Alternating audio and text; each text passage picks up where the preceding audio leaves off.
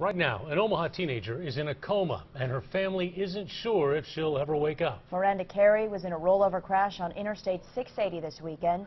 She was thrown from the vehicle, and now the 18-year-old's family wants to know how it happened. KETV News Watch Evans Amanda Crawford live at the Nebraska Medical Center. Amanda? Well, Rob, one of Maranda's best friends is here at the hospital, too. She was in the car when it crashed. She's gotten out of surgery and she's recovering. She'll be okay. But Maranda still hasn't woken up from her coma. Her, almost her whole family right now is by her bedside praying for her to wake up.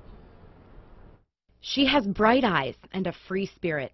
And that's what Maranda Carey's family misses the most right now. She's good-hearted. She'll she can be good to you, but if you're mean to her, she can tell you off in a minute. So, I mean, and she's lovable. And right now, Pretty devastating. Kathy Main just wants her granddaughter to wake up.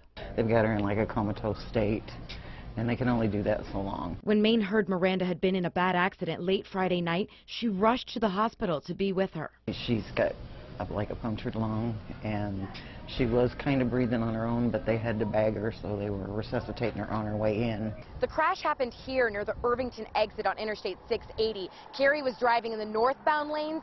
Police say a car swerved at her. She lost control and rolled so many times, her vehicle landed in the southbound lanes. Maine says knowing there was another driver nearby upsets her the most. That the person didn't stop to help. There was nobody else around. You know, if you've seen this happening, why didn't you just, you know, even it was maybe an accident, couldn't you have just stopped, you know, and helped out? I mean, if this was pure and simple an accident, I don't think the rage would be inside any of us at this point. Maranda's uncle says the other driver needs to come forward so his family can have some answers. And until then, Uh, maybe she really does feel a little bit better about us being in the room. he'll stay by her side, waiting for those bright eyes to open. She's coming back. She's not going to leave us. There's no way. Now, Omaha police are still investigating what happened that night on Interstate 680. Maranda was with three other friends, and they've all told police that a black car with tinted windows swerved at them twice and never stopped. Hey, Amanda, you said one friend's still in the hospital. What about the other two? How are they doing? Well, I've been talking to some of her friends today. I talked to Gabriella Nichols, and she's recovering at home. She's having trouble walking, though.